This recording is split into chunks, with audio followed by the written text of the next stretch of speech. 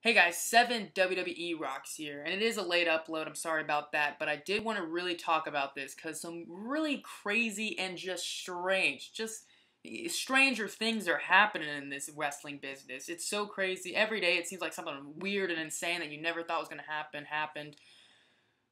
But I'm going to Ring of Honor in um, in uh, November 17th. That's 10 days from now. Um, I'm so excited. NXT is doing a show the very same day in the very same city. So it's been, you know, seeing who can top, you know, each other. It's NXT. They're announcing Shawn Michaels is guest refing a match with Adam Cole and Drew McIntyre for the NXT Championship. Ring of Honor announces they're bringing Kenny Omega and the Bullet Club's invading San Antonio.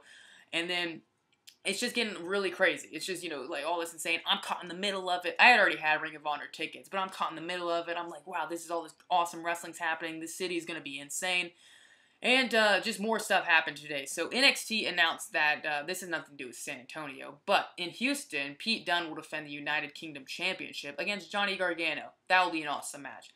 But they announced for uh, San Antonio show the day before NXT TakeOver Houston that Trent Seven and Tyler Bate will verse Pete Dunne and Mandrews, Mark Andrews. So United Kingdom guys are going to be there. Shawn Michaels is going to be there. They want you to come to that San Antonio show. NXT, they want your tickets or they want your money to buy tickets. So Ring of Honor, they got to come back, man. They got to freaking start firing away. And I feel like they wouldn't have announced this because Cody Rhodes said there's two surprises for the San Antonio show. One was Kenny Omega being announced, of course, and two would be a mystery guest. So people were thinking either Neville, Austin Aries. I did think it was going to be Austin Aries.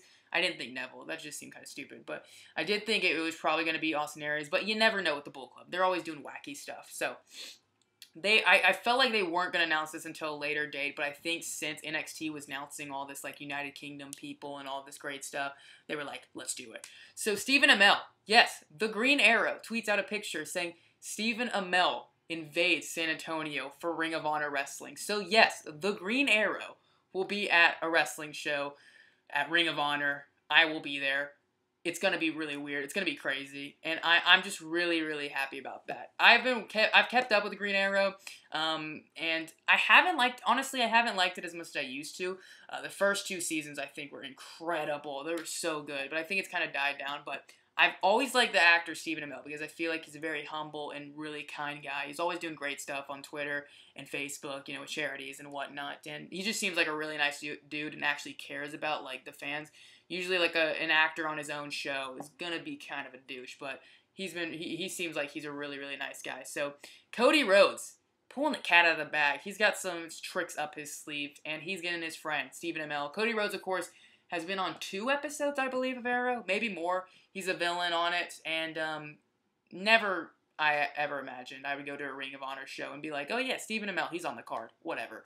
Um, but I'm hoping there's a meet and greet with him. I would really, or I hope, I know there's gonna be a Ring of Honor meet and greet, but I hope that he's on it. And honestly, I hope he does the Ring of Honor, you know, fees because if he does his regular like Comic Con fee, Daniel can't afford that, man. I mean, I barely can afford the Ring of Honor fees, but I hope he's on it. That'd be really cool. I'd love to get a picture with him, Cody Rhodes, the whole gang, the whole being the elite gang.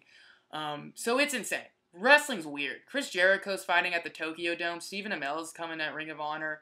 I don't know what's happening anymore, but I'm enjoying it, and um, it's gonna be an awesome show. I really, really can't wait. I'm just, just, just phoning it in school wise just to get to this uh, date, just to get from ten days from now, so I can finally see Ring of Honor, the Elite, Kenny frickin' Omega, Stephen Amell, shooting arrows. Maybe I'll shoot an arrow. Who knows? I'm excited. I really can't wait, and um, yeah, NXT and Ring of Honor, they're going to war. San Antonio, November 17th. Thanks so much for watching. Let me know what you think about this. Stephen Amell in Ring of Honor. Let me know in the comments section down below. This is crazy. Thanks so much for watching. Like, comment, subscribe, all the good stuff. Follow me on Twitter at 7WWE Rocks.